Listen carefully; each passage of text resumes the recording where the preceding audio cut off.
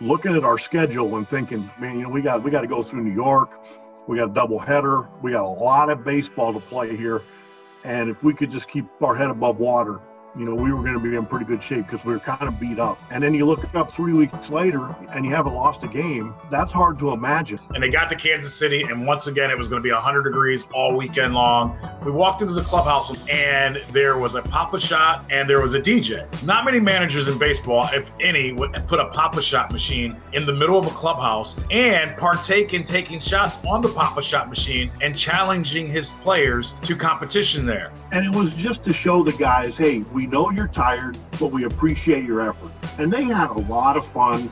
Kluber enjoyed it, like watching them. Then he went out and dealt. Like sometimes the hitters tend to stick with the hitters and the pitchers stick with the pitchers. Everybody gelled, everybody hung out. We all went to dinner together. That was definitely the reason, part of the reason that why we were so good. Urshela finds oh, the hole. His fourth RBI of the night as Diaz comes home to make it 8 4 Cleveland. We didn't play well in the first half, and we were trying to get separation in the division, and we were trying to punch our ticket to the playoffs. So you can be outstanding the night before and then wake up for a day game the next day, and it's like you forgot how to play. I mean, that's just the nature of baseball. When you see Tito at 2 o'clock p.m., you don't know if his team won by five runs last night or gave it up in the ninth inning. He truly is the same person day in and day out the remarkable thing is in the moment, well, as the games were just ticking by, it seemed almost normal because of the incredible atmosphere that Tito creates in the clubhouse, where every day we show up, there's an expectation of winning. I happen to look at a lot of the lineups, and I go, would you look at what T was doing? How he mixed and matched as being able to allow those extra players get a couple of innings, get a couple of at bats, and that they feel part of the club.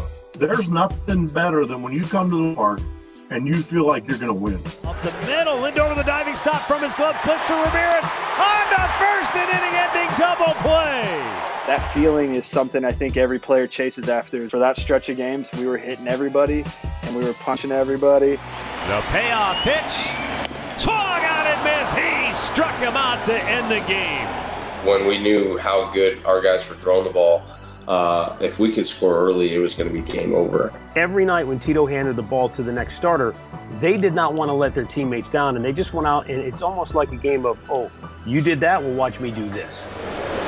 Swung on and missed. He strikes him out. That's seven Ks now for Clevinger. Clev went from this kid's got is a prospect, he's got a chance, to oh boy, he's he's up there with Kluber and those guys. Fastball coming back. That's the one he drilled here. That was awesome. I just always remember feeling, always felt like we are up 4 nothing, and that's a really good way to play baseball. Now, if we can find a way to recreate that and do that every year, you'd sign up for it. What we did, especially during the streak, is once we got a lead, we, we weren't satisfied. We kept on uh, stepping on the gas pedal and then tried to extend those leads the best we could. Yan Gomes sends a long fly ball. Deep left field. Liriano back. He's out of room. It's out of here. Sometimes we scored five runs in an inning. And then you go, how'd you like to be in that dugout over there? But because they had won 14 in a row the year before, once they got hot, we knew that this team had the ability to get on a run and, and reel off win after win after win. Going into the clubhouse after like maybe two weeks of just straight winning, dominating, and I was like, damn, we're, I think we're on a pretty good streak here. For the first time in the long history of the Cleveland Indians, they have a 15 game winning streak. What makes it that they're so unique that won 14 last year, this year 15? What do you think that who's doing it for them? I, think it's a team effort. I think the pitching has been great. I think when your leadoff hitter can start the game off with a triple and get driven in right away and get a four run lead, it helps the pitching. I think they help each other in a, in a great, contagious way. What makes you think that? No, I just think like he's overall everybody's contributing. Everybody's trying to play to win. Everybody's continuing to do their thing, and the preaching staff continues to carry us. And I remember after Frankie got through like three questions, he looked at me and handed me my mic back, and he's kind of like. And after we walked off the field, he looked at me and goes, This is way hard. Your job's harder than I thought it was. And I was like, You just keep hitting home runs and making plays at shortstop. I'll come up with the questions. 20th game was another one where I remember that being 20 wins in a row is a lot. Like we haven't lost in almost three weeks. That's an odd feeling to have. Ball game! A record tying night in Cleveland. The Indians have matched the American League record. They have won 20 in a row.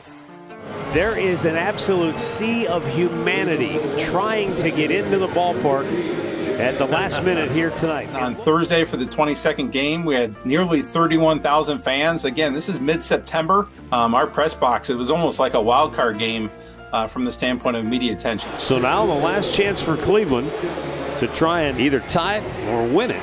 There are certain players in sports that thrive when the game is on the line and the spotlight is solely on them. Down to your last out, you got the right guy in the right spot. Uh, you know, and Kelvin Herrera, who was on the mound, he was throwing the ball. He was having a great year. He was throwing the ball really, really well. We had this like collective feeling of like, well, if we can get somebody on, we'll figure out a way to win this thing. Two down, bottom of the ninth, 2 2 pitch, swung on, line drive, deep left field. Back goes Gordon. He's at the wall. He leaps. He can't make the catch. Coming around third with the tying run is Gonzalez. Into second is Lindor. The Indians have tied it down to their last strike in the bottom of the ninth. Lindor always seems to have those moments in his back pocket. Clevinger was real strong on this. He goes, when he comes up, we expect that from Frankie Lindor. You're hitting it to Alex Gordon. He's going to come down with it. I mean, the guy comes up with everything. Man alive, that place was bedlam. And we've got extra innings. Why not? The round ball headed toward short Lindor with the flip to Ramirez. We'll go to the bottom of the 10th. Man, there was a cockiness and a swagger there that when he got in the box, you can just feel it.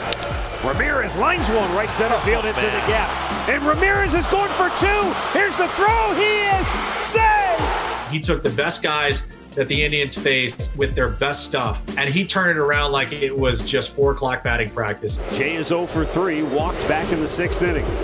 Not only his performance, but he carried himself like a big leaguer. And then when we just kept on winning, I know, you know, after two weeks of this thing, he goes, he goes, man, I love it here, man. You guys don't lose. In Jay's case, we spent a chance to know him. We played against him a bunch. We had know a lot of players that played with him, and everyone came back and said, this guy will fit in seamlessly in your clubhouse. This is hit to deep left center field. It is gone. It was a post game, and I was going to try to get Edwin to come on air. And if you knew, Edwin didn't come on the air a lot. And I go up to him after the game. I'm like, Edwin, and he's like, Jay. He goes, not today. Go get the interpreter. And he's got this deep voice, and Jay Bruce snaps his head around, and he'd been there literally four or five days. And he goes, interpreter? He goes, dude, you've known English since you were 17. Get stand up and do the interview. He, I mean, in his short time in Cleveland, he had some big swings, memorable swings. We loved him. You know, we cherished him as a teammate, and, and he was big for us. Rip to right, it's down over. the line, fair ball! Around third, Ramirez will score!